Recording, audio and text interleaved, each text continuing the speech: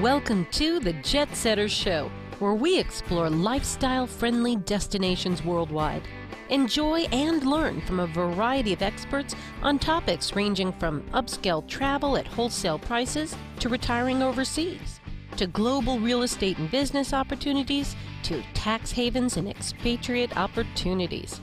You'll get great ideas on unique cultures, causes, and cruise vacations. Whether you're wealthy or just want to live a wealthy lifestyle, the Jet Setter Show is for you. Here's your host, Jason Hartman.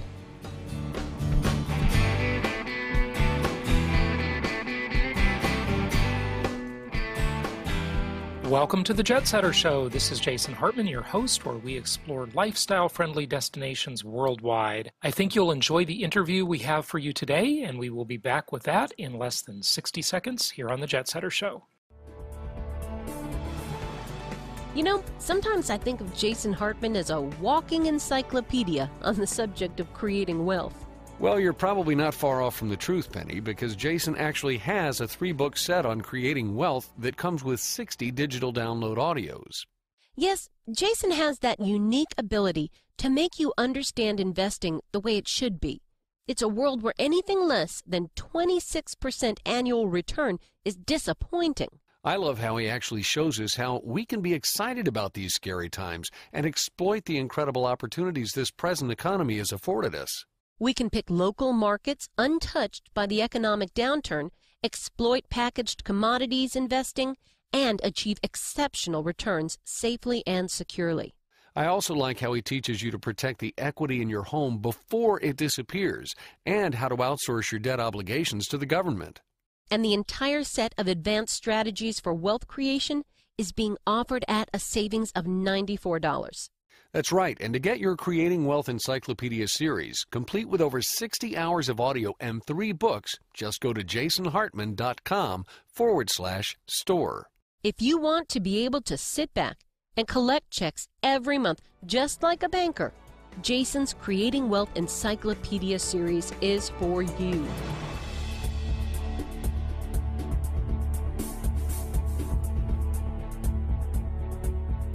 It's my pleasure to welcome Bob Levinstein. Uh, he is CEO of Cruise Compete, and this is a very unique business model that allows consumers to shop for the best cruise deal, and I'm looking forward to hearing more about it. Bob, welcome. How are you?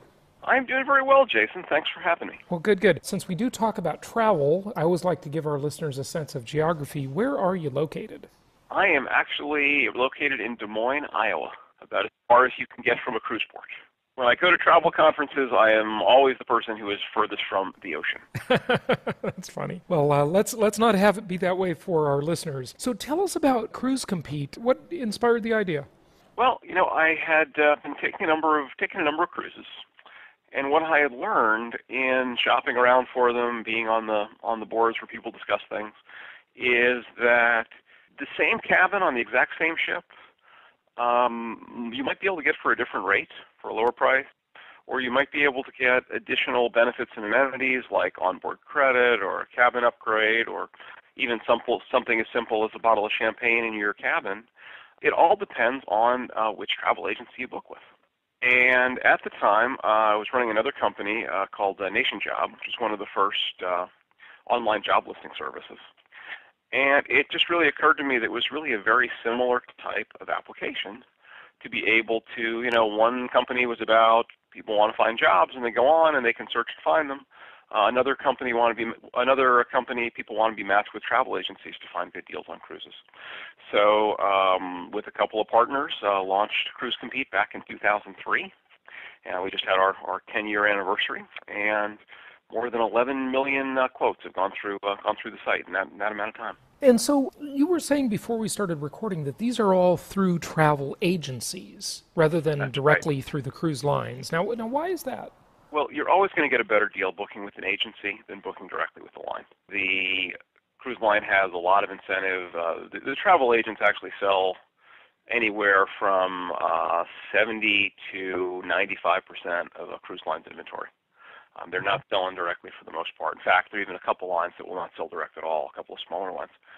And depending on the relationship they have with the agency, uh, whether or not they have group space reserved, just how smart they are about uh, about the codes and the you know the fare codes and coupons and ways to get you deals.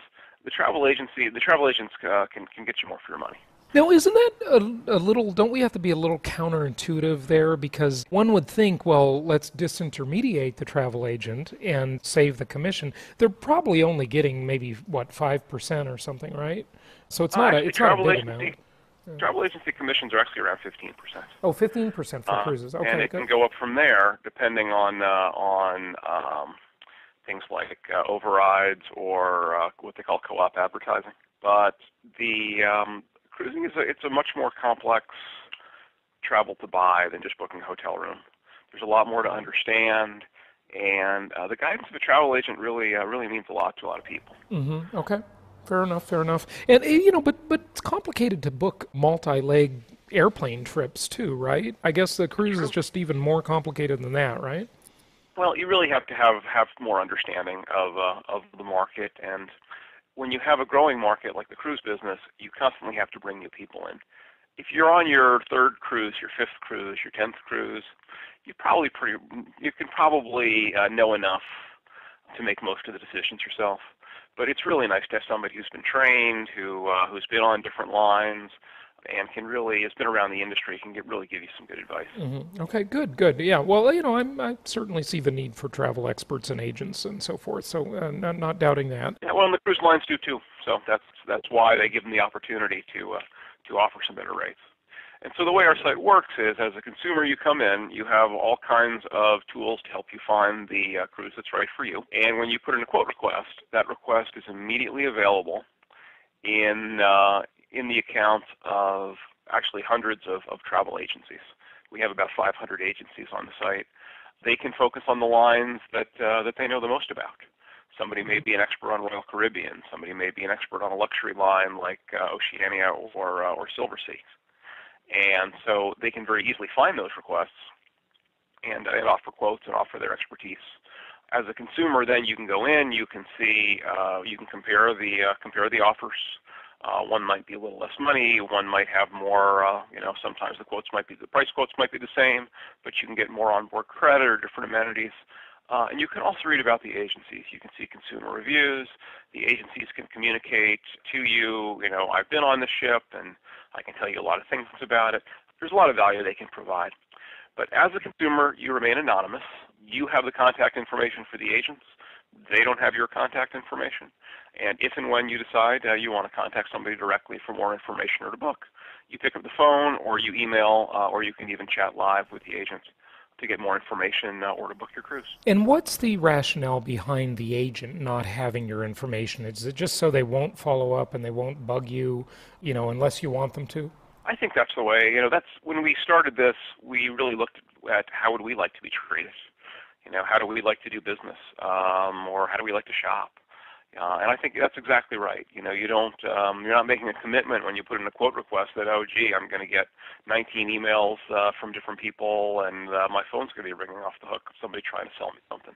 The consumer should be in charge of the process, and you know that goes toward the anonymity. It goes toward the ability to, you know, read about the agency and read how previous customers have rated that agency before you even decide to talk to them. Yeah. Okay. Good. Good. And so, is is there any type of metric that you track in terms of actual savings, or is it more about amenities, onboard credit, the things that you mentioned, or up or room upgrades or cabins? It really varies line by line. Sometimes, uh, you know, some lines uh, allow looser, allow the agents to do more uh, for the uh, for the consumer to get their business.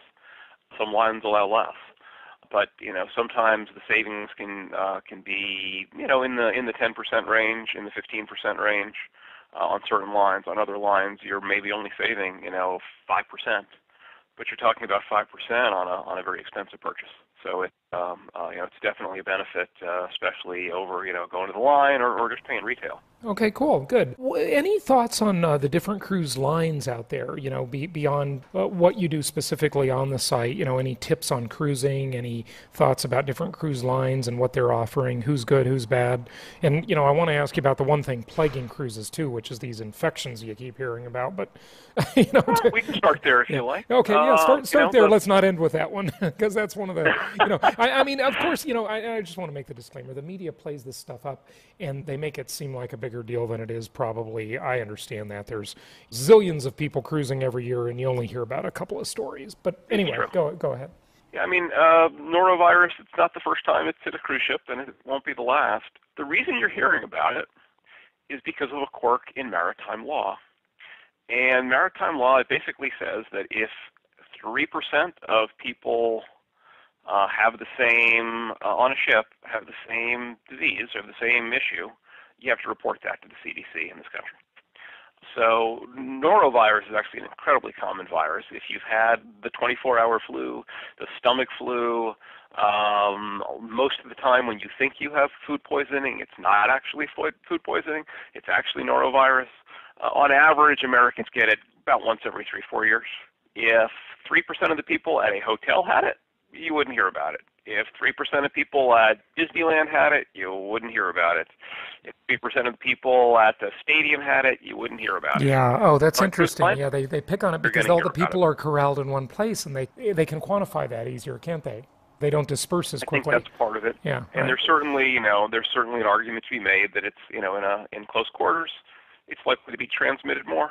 But that's not the only place where it gets transmitted. This is an incredibly common after the common cold this is the most common thing people get. So yes, it can happen, uh, and the cruise lines do not do a very good job, I think, uh, on PR, helping people understand that look, this is something that happens.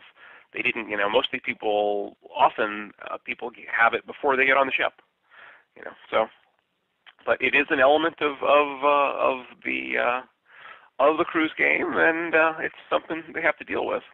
On the plus side, though, uh, bad PR, and there's been an awful lot of that over the last few years, generally means better deals. And there's some deals out there right now that are really just incredible, especially you know for February and March. There's been a lot of uh, a lot of the uh, cruise lines have increased their they they had they didn't quite have enough capacity in the uh, Caribbean last year, and they overcorrected, and there's just a tremendous amount of additional capacity and prices are are very very low for this yeah. time of year. So the consumers can definitely work that to their benefit, right? Oh, no question. Yeah. Oh, okay. Okay. Good. Good. Good to know. Talking about offers for you know six hundred and fifty dollars per person for a seven night cruise in a balcony cabin. That's amazing. On a, new ship like the and, and yeah, and a new ship too. Like like what? Uh, like the Norwegian Epic or the Breakaway. Both of those are, uh, in fact, I'm looking at going on the Epic myself on these at these prices. You know, these are brand new, very highly rated ships, and they're uh, they're just under capacity. So they've got cabin space. The lines cut prices, and uh, you know you have a lot of opportunity there.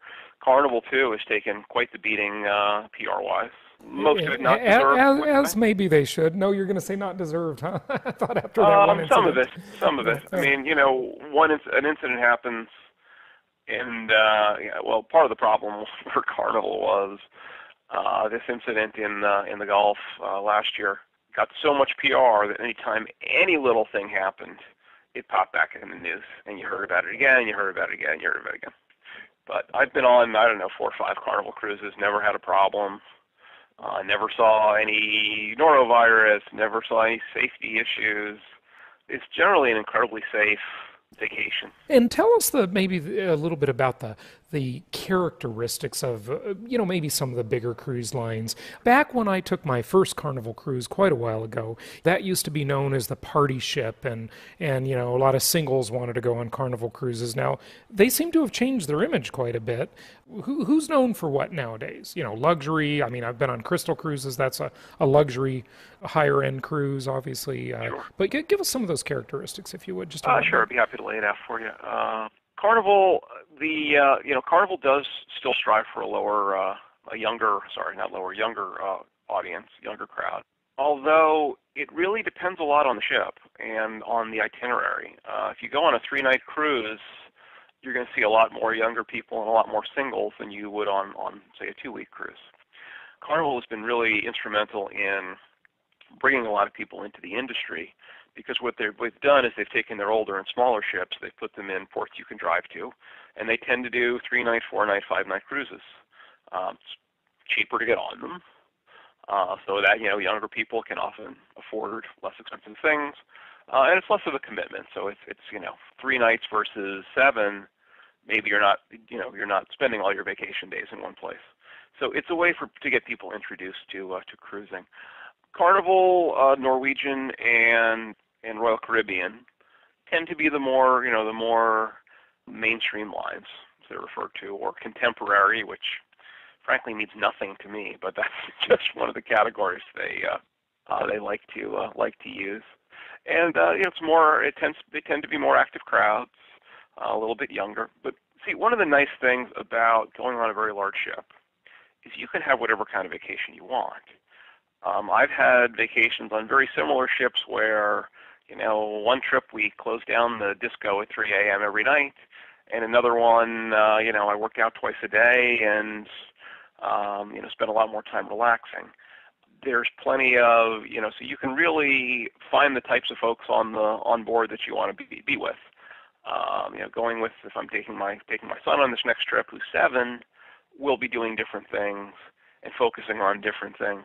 But it's but there's so much available on these ships in terms of entertainment, in terms of relaxation.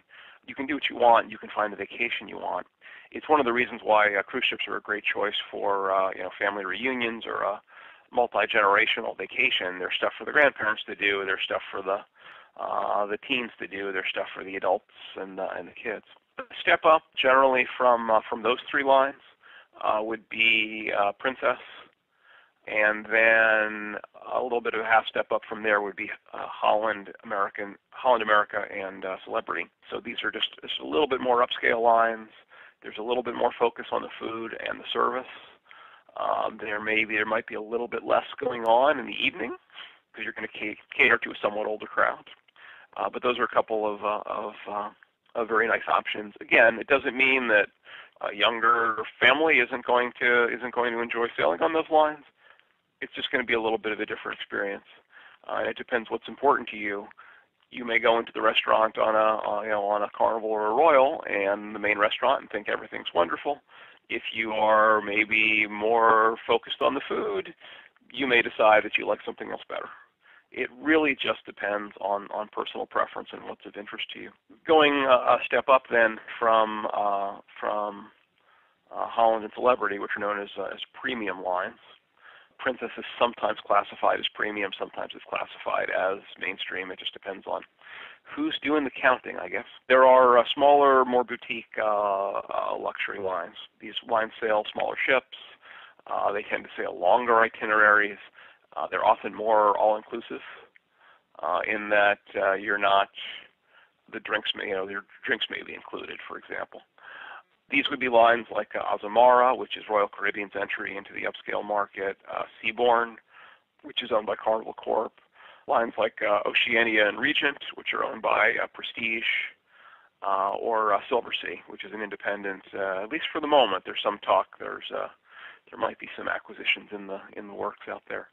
But these these ships are uh, it's more of a country club type of an atmosphere up to a, um, you know, depending on the line, Crystal, it's a little more formal and fancier, slightly older.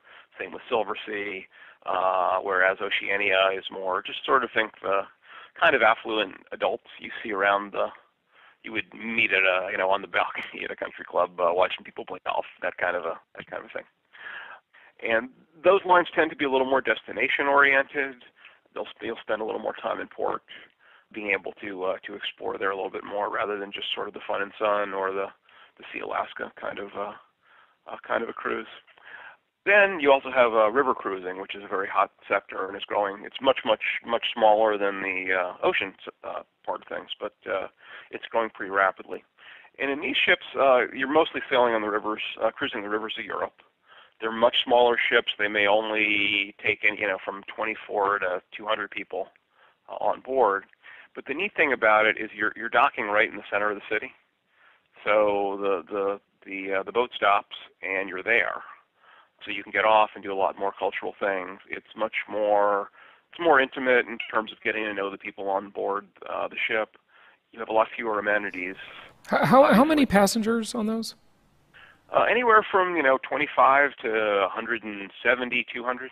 But it's a really interesting way to see Europe, uh, or and also they have you know they have sailings in uh, in uh, Asia as well uh, and Russia. Um, just a very interesting way to see things that, that you you wouldn't see just stopping at a seaport and getting off.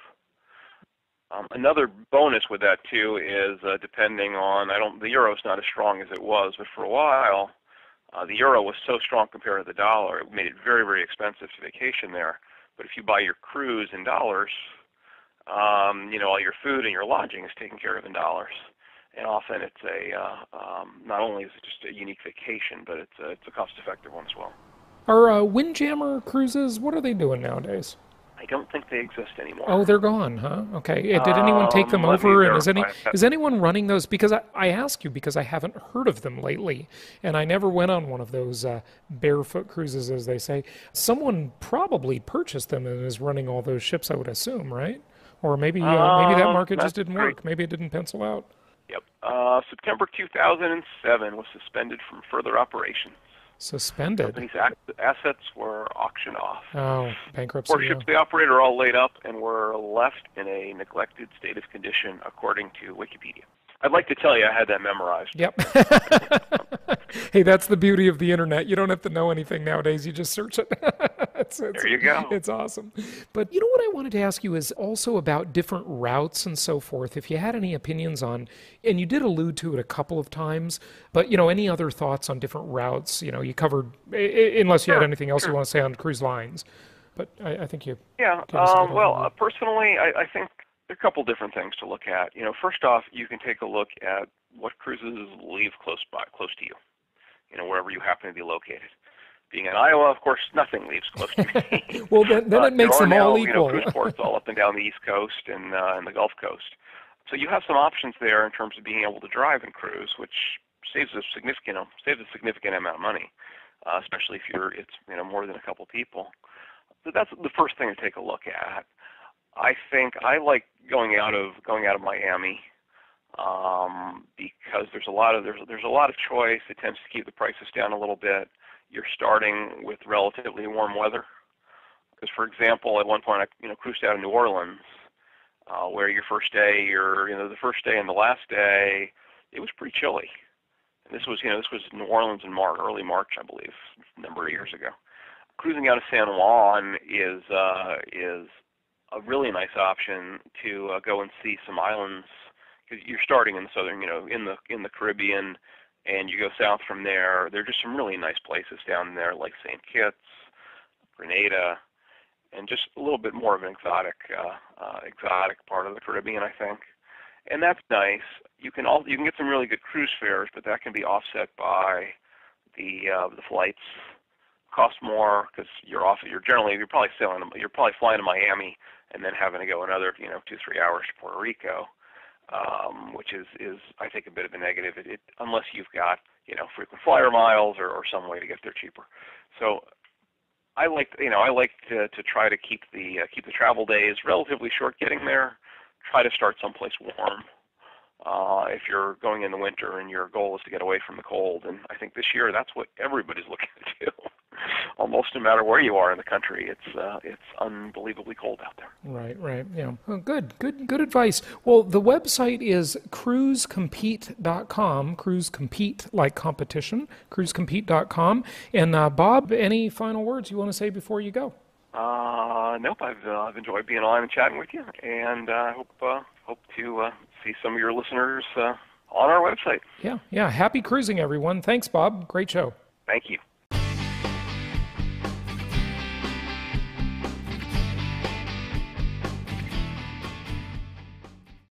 This show is produced by the Hartman Media Company, all rights reserved. For distribution or publication rights and media interviews, please visit www.hartmanmedia.com or email media at hartmanmedia.com. Nothing on this show should be considered specific personal or professional advice. Please consult an appropriate tax, legal, real estate, or business professional for individualized advice. Opinions of guests are their own, and the host is acting on behalf of Platinum Properties Investor Network, Inc. exclusively.